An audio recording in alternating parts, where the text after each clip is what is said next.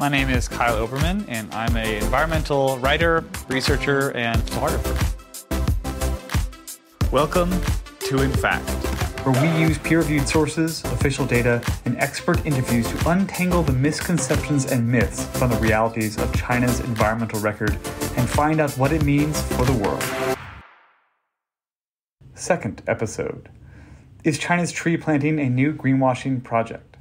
Five years ago, a paper published in one of the world's most prestigious peer reviewed journals made headlines across the world. The authors used NASA satellite data to claim that at least one fourth of the world's greenleaf area increase since the 2000s was due to Chinese tree planting efforts. Some celebrated, some couldn't believe it. What went on here, and are China's newly planted forests as successful as they claim?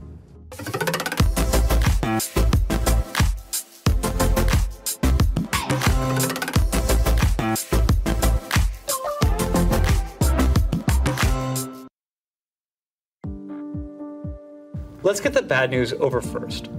In the last century, humans have removed forests from the earth amounting to an area the size of the United States. And we continue to remove about a Bosnia size worth of forested land every single year.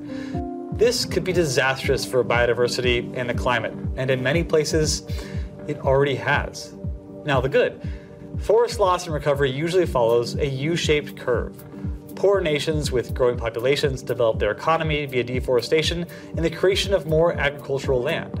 But as they get richer, population growth slows, crop yield improves, and local populations burn less wood for energy.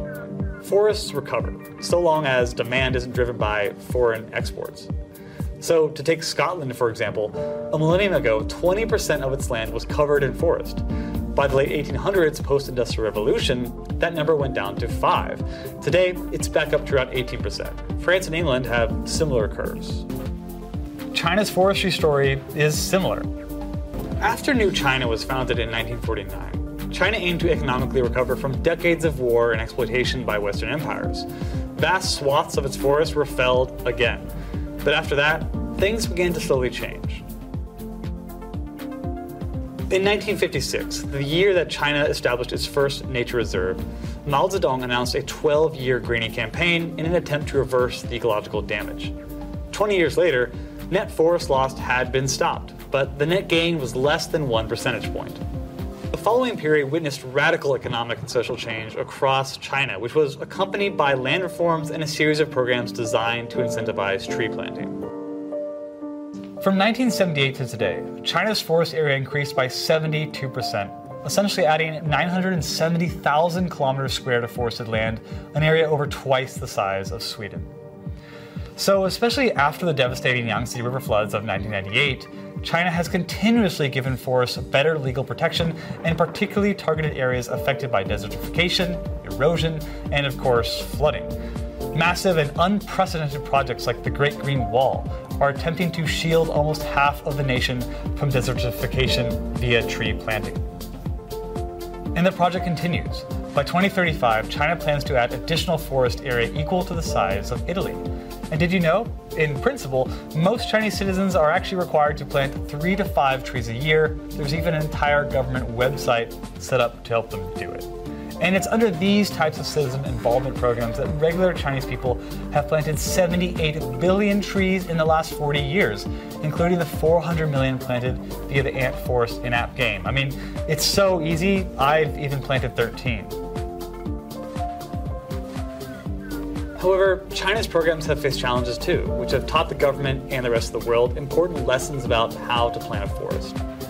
Many efforts in tree planting created homogeneous tracts of single species young woods, monocultures, that grew fast but lacked biodiversity.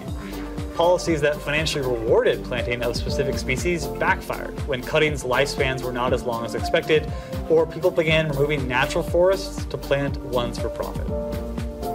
But I asked Dr. Yu what lessons China learned. The first one is the importance of tree species selection.